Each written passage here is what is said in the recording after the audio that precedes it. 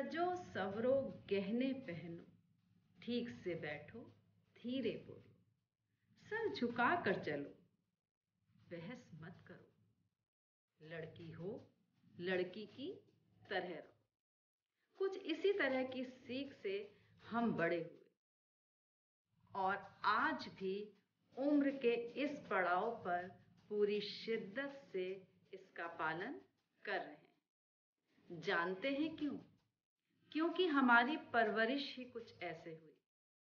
हमें सिखाया गया, हमें बताया गया कि रसोई बनाना, घर संवारना, सिलाई बुनाई करना, यही तुम्हारा काम। और मैंने, आपने और हम सबने इस बात को मान लिया।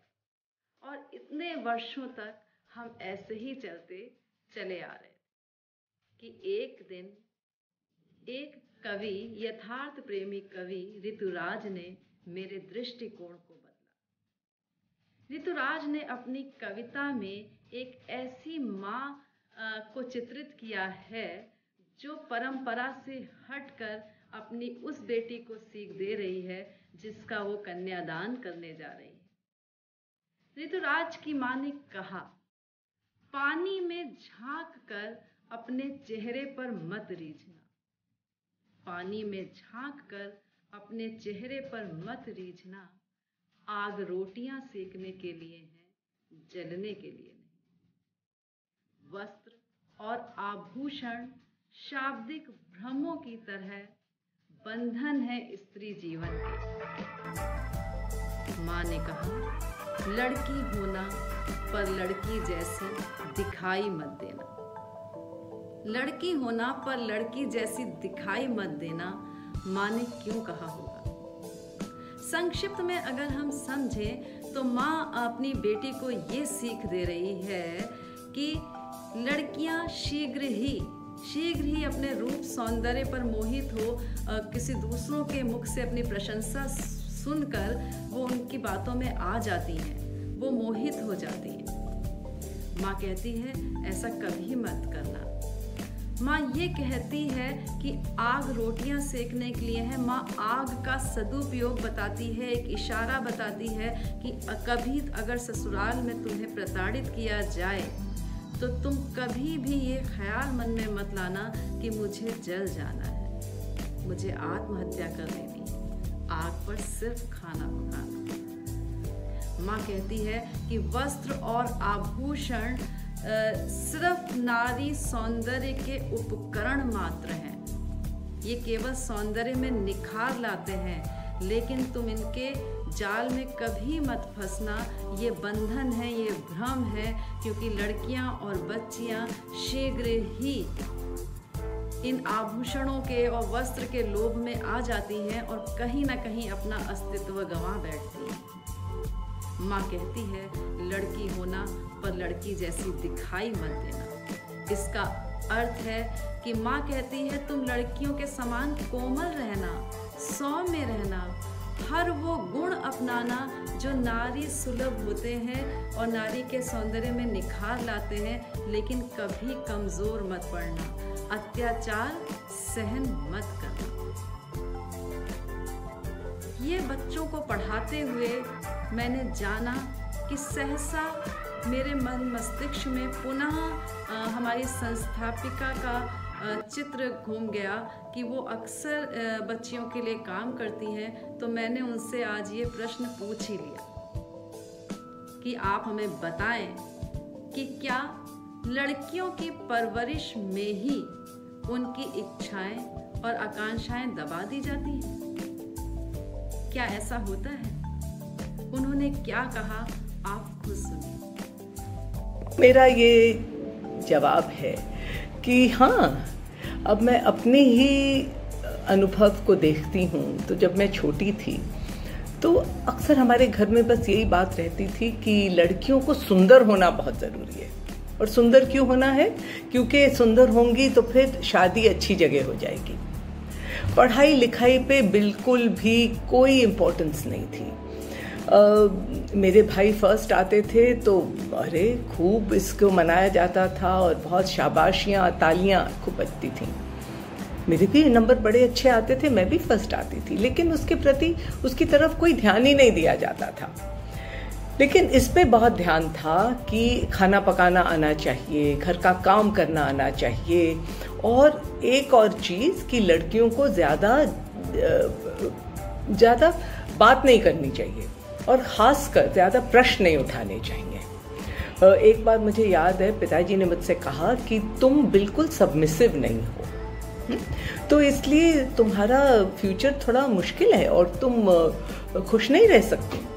और दूसरा, मम्मी कहती थी कि तुम इतनी ज़्यादा बहस करती हो, तुम्हारे ससुराल में कैसे निभा होगा? तो शादी को एक बहुत ही इम्पोर्टेंट गोल जैसे बना दिया जाता था और सभी कुछ उसकी तरफ़ गाइडेड था, कि कुछ भी आप करें उसकी इम्पोर्टेंस तभी है अगर वो आपकी शादी में आपकी मदद करेगी। और एक अच्छा वर मतलब अच्छा पढ़ा लिखा और अच्छा कमाता हुआ वर आपको मिलना चाहिए और इसलिए आपको वो सब कुछ सीखना चाहिए जिससे आपको एक अच्छा वर हासिल हो जाए। मुझे आज तक नहीं याद कि कभी भी किसने, किसी ने मुझसे ये सवाल किया हो कि तुम बड़ी होकर बनोगी क्या। वो तो जैसे पहले ही डिसाइडेड था कि बड़ी होकर लड़कियों को क्या बनना है। माँ बनना है, बच्चे पैदा करना है, अच्छी बहू बनना है और अपने परिवार का नाम परिवार की इज़्ज़त को संभाले रखना है। तो हाँ आपकी, और ऐसा मुझे पढ़ने लिखने का बहुत शौक था। लेकिन मेरी शाद, मेरे, मैं और मैं अपने स्कूल में अव्वल आई। लेकिन एक साल मुझे होम साइंस कराया, फिर पिताजी ने मेरी सगाई कर दी और उसके तुरंत ही बाद मेरी शादी भी हो गई। तो मैं क्या चाहती थी? मेरी अपनी क्या एस्पिरेशंस थी? क्या आकांक्षाएँ थी? इसके प्रति तो कभी ध्यान दिया ही नहीं गया। और मुझे दुख के साथ कहना पड़ता है कि केवल घर ही में नहीं, बल्कि स्कूल में भी। कभी भी हमारी टीचर्स ने इसकी तरफ़ ये नहीं ध्यान दिया कि लड़कियों की भी पढ़ाई लिखाई ऐसी होनी चाहिए कि वो समझें कि उनकी ज़िंदगी अपनी है, वो अब कुछ कर सकती हैं, अपनी ज़िंदगी को निखार सकती हैं और अपनी ही कुछ आइडेंटिटी बना सकती हैं।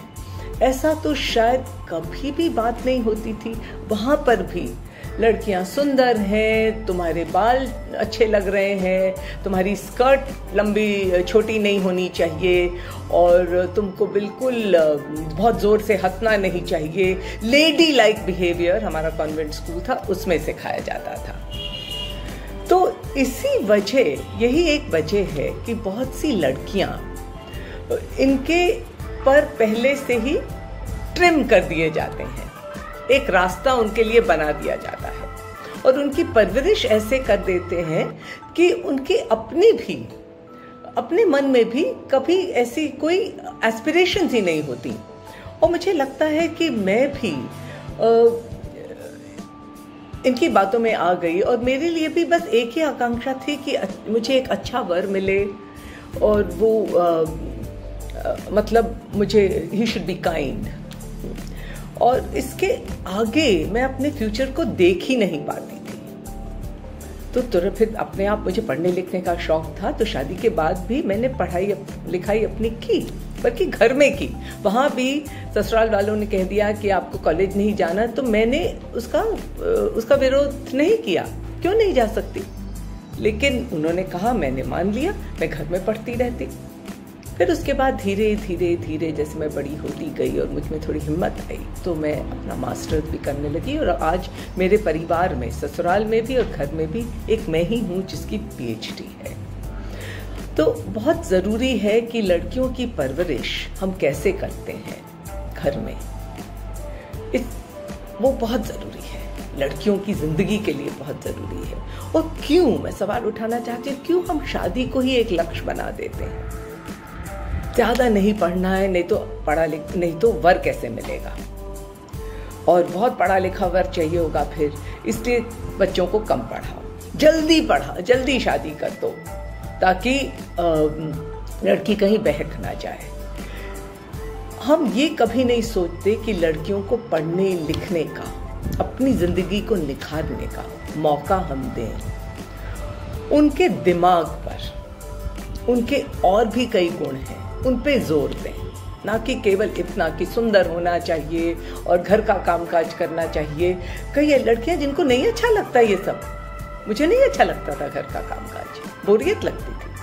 लेकिन ये तो ऐसा था कि ये तो सीखना ही सीखना है। और कुछ हो, स्कूल के मार्क्स आए ना आए, लेकिन घर का काम अच्छा आना चाहिए। तो ये सब हमको बदलना पड़ेगा। अगर हम चाहते हैं कि हमारी बेटियाँ भी आगे बढ़ें और नागरिक होने के नाते अपनी एक जगह बनाए। एक जगह, एक समान व्यक्ति की तरह, समान नागरिक, जो अपने देश के लिए कुछ योगदान दे सके। अपनी ज़िंदगी को अपने तरीके से, अपने मन चाहे तरीके से निखार सकें।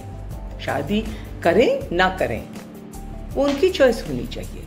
माँ बने, ना बने, वो उनकी चॉइस होनी चाहिए। डॉक्टर बने, इंजीनियर बने, पायलट बने, कुछ भी बने। ये दुनिया उनकी भी है। इस तरह की परवरिश हमारी बेटियों को कब मिलेगी? इसी की मुझे प्रतीक्षा है। धन्यवाद, उर्वशी आंटी। मुझे लगता है कि आपके इस उत्तर से हम लाखों लोगों के मन के कोने तक पहुँचने में सफल हुए हैं और अवश्य ही अवश्य ही लोग इससे कोई ना कोई सीख तो ज़रूर लेंगे। पुनः आपका धन्यवाद।